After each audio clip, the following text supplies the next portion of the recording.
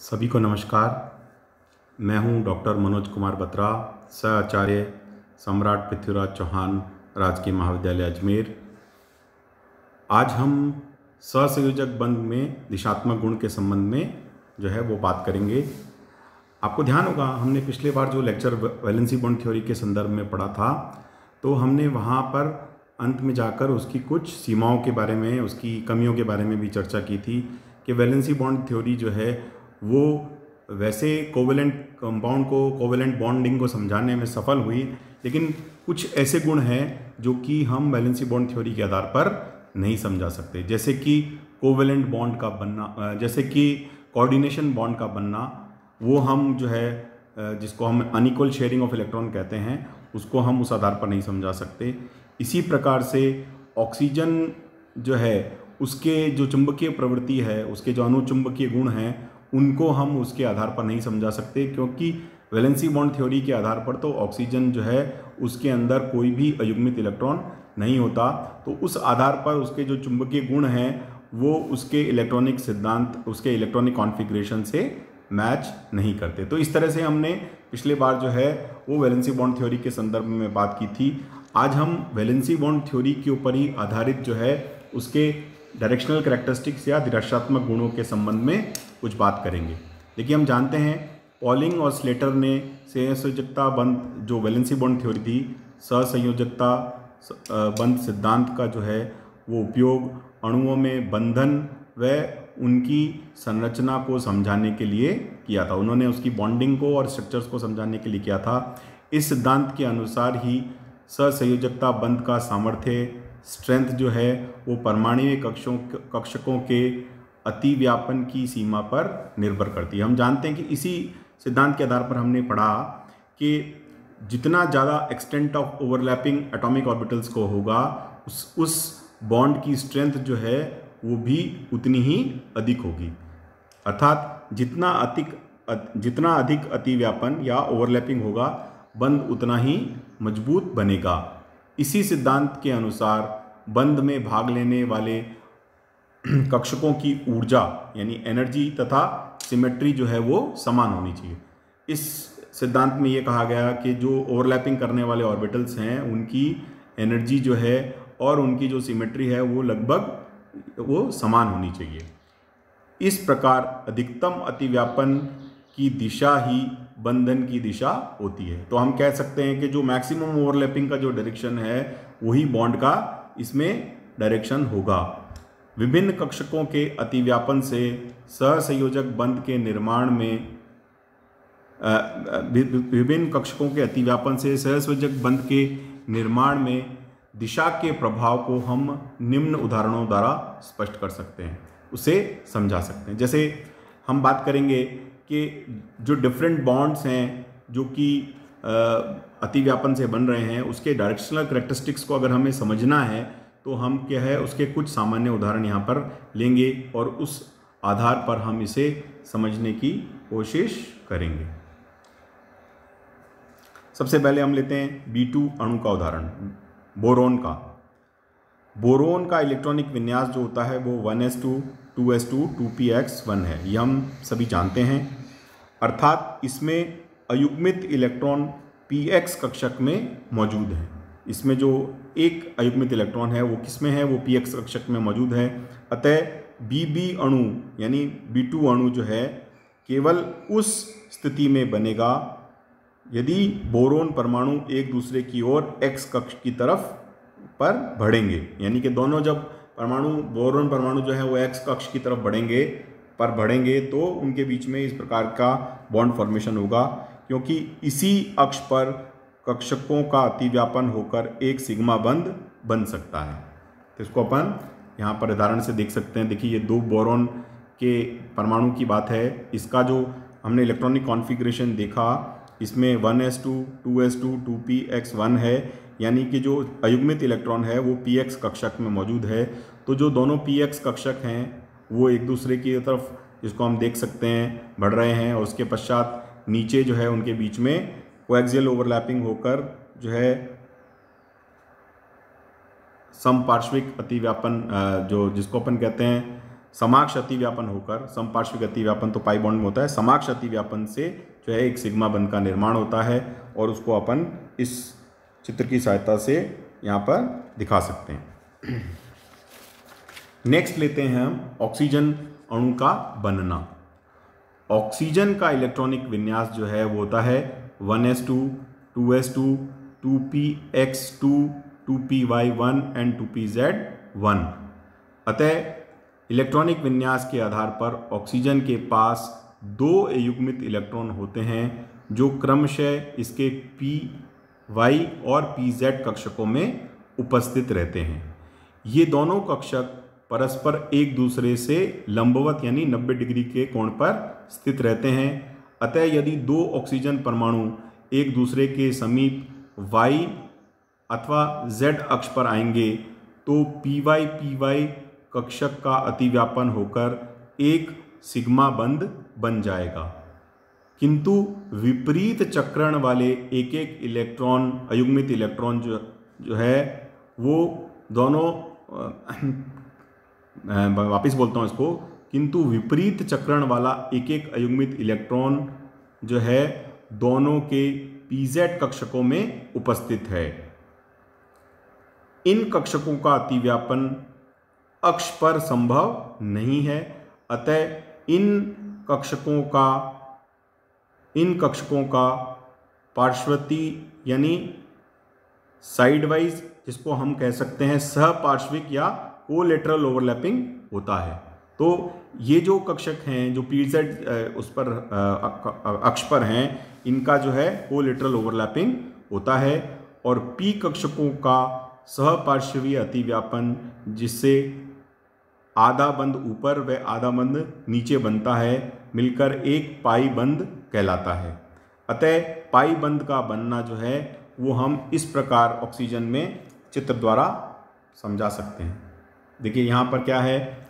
यहाँ पर pi bond का फॉर्मेशन है तो पी जेड एक्सिस जो है उस पर और दूसरे पी जेड एक्सिस पर दोनों पर जो है, जो उसमें एक एक इलेक्ट्रॉन है तो इनके बीच में जो ओवरलैपिंग होगी, वो एकदम सीधी नहीं हो सकती, वो ऊपर और नीचे के तरफ़, अक्ष के ऊपर या नीचे की तरफ़ हो सकती है, जिसको हम सपार्श्विक अतिव्यापन या कोलिटरल ओवरलैपिंग कहते हैं। तो इस तरह का पार्श्वती अतिव्यापन होकर इस प्रकार से एक पाई बॉन्ड का फॉर्मेशन जो है वो इसमें होता है।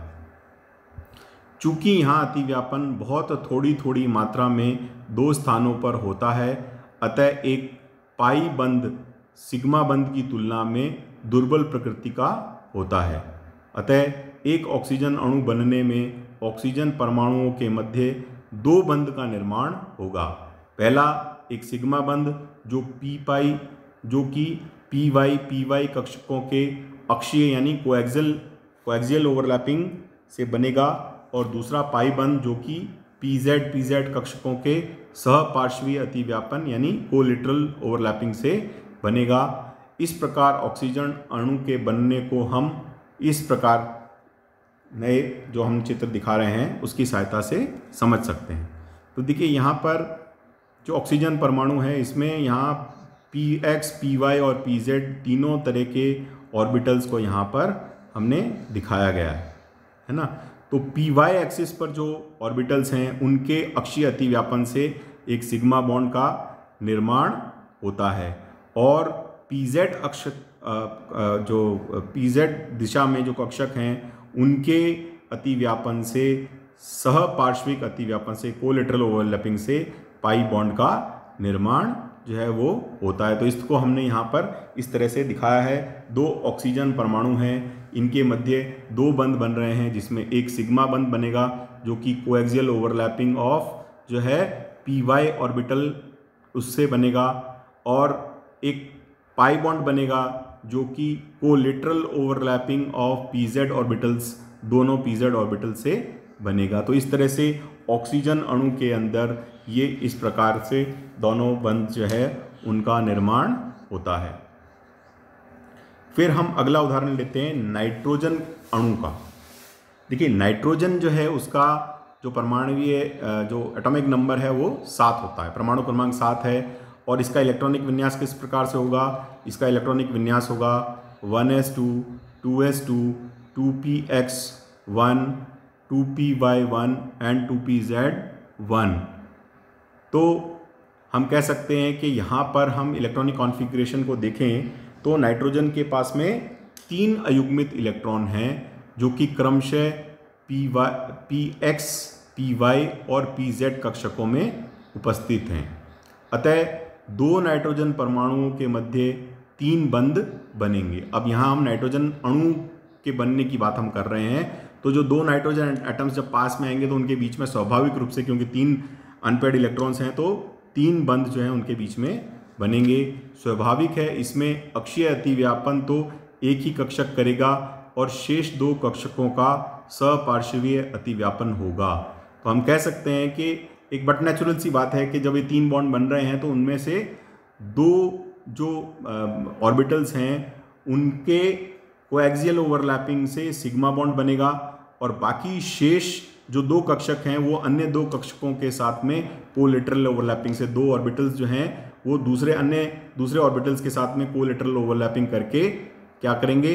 पाई बॉन्ड का, दो पाई बॉन्ड्स का निर्माण करेंगे। तो दो नाइट्रोजन परमाणुओं के मध्य एक सिग्मा बंद व दो पाई बंद बनेंगे, जो कि परस्पर लंबवत होंगे। देखिए, अपन इसको यहाँ पर देख सकते हैं। तो देखिए यहाँ पर हमने तीन एक्सिस दिखाए हैं नाइट्रोजन की हम बात करें। एक है एक्स एक्सिस एक है वाई एक्सिस और एक है जेड एक्सिस तो जो जो एक्स एक्सिस है, उस पर हमने अक्षीय अतिव्यापन दिखाया, यानी कोएक्सियल ओवरलैपिंग दिखाया p x p x orbitals के मध्य, और एक सिग्मा बंद का निर्माण होगा। इसके बाद में पी जेड एक्सिस पर जो है वो सह सहपार्श्वीय अतिव्यापन जो है वो दोनों जो ऑर्बिटल्स के बीच में होगा, ऊपर और नीचे की दिशा में तो ये क्या होगा? ये एक पाई बॉन्ड बनेगा। इसी तरह से जो है, पी वाई, यानी वाई एक्सिस के अलोंग जो है, वो भी सम समपार्श्विक अतिव्यापन होगा। यानी कि पी वाई ऑर्बिटल एक नाइट्रोजन का और दूसरे नाइट्रोजन का पी वाई ऑर्बिटल इनके बीच में जो है, वो जो है कोलेट्रल ओवरलैपिंग होगी। यानी ओवरलैपिंग जो होती है, वो अक्ष की दिशा में ना होकर उसके ऊपर व नीचे होती है और उसका जो परास होता है ओवरलैपिंग का, वो भी काफ़ी कम होता है। इसलिए जो पाई बॉन्ड है, वो काफ़ी कमज़ोर होता है। तो इस तरह से नाइट्रोजन के बीच में दो पाई बॉन्ड बनेंगे। एक जो बनेगा, वो p y p y orbital की ओवरलैपिंग से कोलेट्रल ओवरलैपिंग से। एक बनेगा p z p z orbitals की कोलेट्रल ओवरलैपिंग से। और p x p x orbital की कोएक्सियल ओवरलैपिंग से। समपार्श्विक अतिव्यापन से जो है, वो सिग्मा बंद जो है, उसका निर्माण होता है। तो इस तरह से नाइट्रोजन के अंदर एक सिग्मा बंद और दो पाई बंदों का निर्माण जो है, उनके मध्य ओवरलैपिंग से होता है। अब अपन बात करते हैं H two H two O अणु के संबंध में, जल के अणु के। जल के एक अणु में एक ऑक्सीजन परमाणु, दो हाइड्रोजन परमाणुओं के साथ जुड़ा हुआ है। ऑक्सीजन परमाणुओं के पास दो अयुग्मित इलेक्ट्रॉन पी वाई व पी जेड कक्षक में उपस्थित हैं और प्रत्येक हाइड्रोजन परमाणु के पास एक एक इलेक्ट्रॉन जो है उसके एक एस कक्ष में उपस्थित है। अतः यदि दो हाइड्रोजन परमाणु वाई व जेड एक्सिस की दिशा से जो है वो ऑक्सीजन परमाणु की ओर आएँगे तो अतिव्यापन द्वारा दो सिग्मा बंद बनेंगे और H2O का एक अणु जो है वो उसका निर्माण होगा।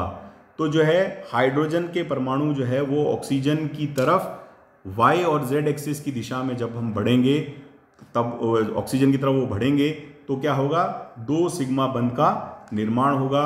देखिए अपन कैसे, देखिए यहाँ पर ऑक्सीजन जो है उसके अंदर y एक्सिस और जेड एक्सिस जो है उसको हम देख सकते हैं, उसमें एक एक इलेक्ट्रॉन है और उसी एक्सिस के अलोंग जो है वो दो हाइड्रोजन परमाणु इसकी तरफ़ बढ़ रहे हैं और जो एक्स एक्सिस है, उस पर जो है, जो p z orbital p x orbital है, उस पर दो इलेक्ट्रॉन्स जो हैं, उसका लोन पेयर ऑफ़ इलेक्ट्रॉन जो है, उस पर उपस्थित हैं।